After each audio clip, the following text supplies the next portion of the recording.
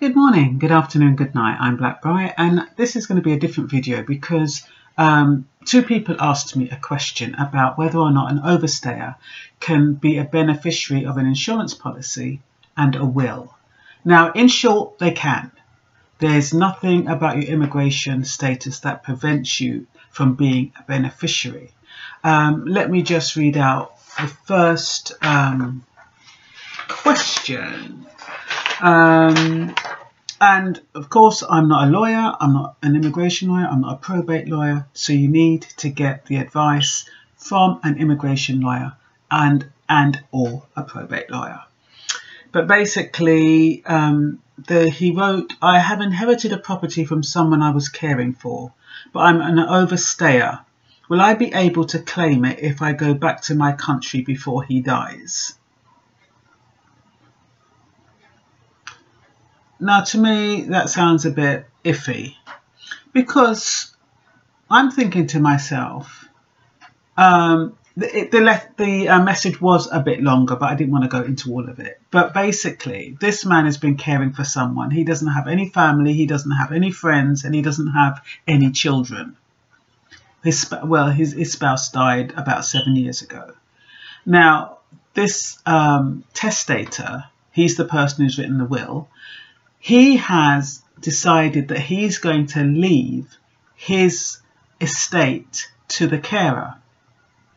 Now, my thing is, why I am a bit concerned is that if he's leaving his estate to the carer, it's because he's the only person he knows.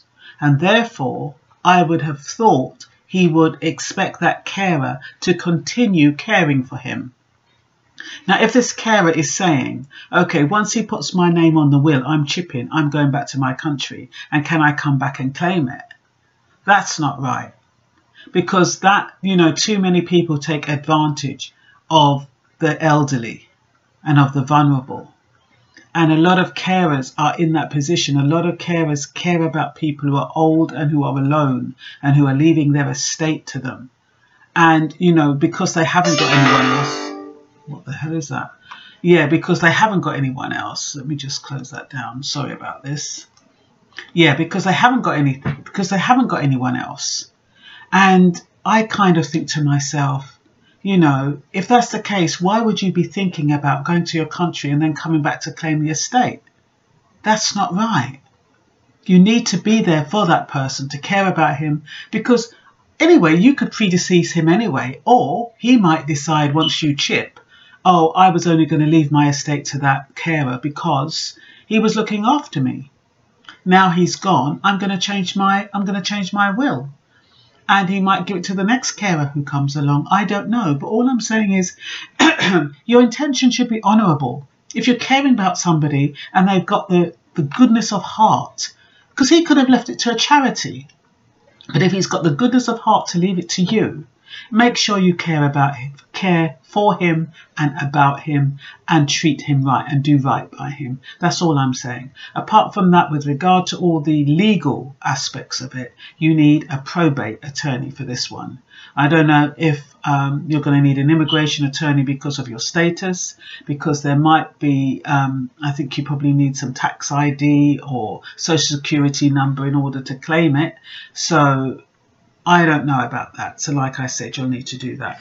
Um, the second question was, what happens if you inherit, well, he said I, but what happens if I inherit a property in a will and I'm an overstayer? Well, like I said, should be able to inherit the property and remain in the family home, even though you have, even though you've never applied for permanent residence. However, you don't have, if you don't have a social security or tax ID, it could be difficult. Um, the thing with acquiring property also is that you have to be careful that you're not acquiring debt with it, because um, it's all well and dandy getting a property, but is it credit free? Are you going to have to be paying money back? Is the mortgage paid off? Stuff like that. But with regard to being an overstayer, like I said, your immigration status shouldn't matter. Um, but I'm not quite sure how that works with tax because most of the income people earn, it should be taxed. And if you're an overstayer, it can't be taxed. But then again, I don't know if tax, people even pay tax on probate, you know, on um, inheritance. I know if it's over like 350,000 in the UK, you have to pay tax, but I'm not quite sure how it works in America. So like I said, you need a probate um, probate lawyer and an immigration attorney. But the long and short of it is yes, of course, you can be a beneficiary to a will, to property, to an insurance policy. So that's not a problem. It's all the nitty gritty in if you actually inherit and you don't predecease, where there may be a problem. But um, I kind of think, well, my, when my father died, my sister was able to go to Jamaica and sort out that property there. So, yeah, of course, I think I'd imagine you can go any part of the world and anybody could, but there again, she was legal. So I don't think it's, I don't think it makes a difference, your immigration status. It's whether or not, or what you can do in order to um, make sure that what you're entitled to you get. And the only way you can do that is through a, probate attorney. I hope this has been helpful. Like I said, it's not my field of work, so I'm sorry I can't help you more than that. Bye bye.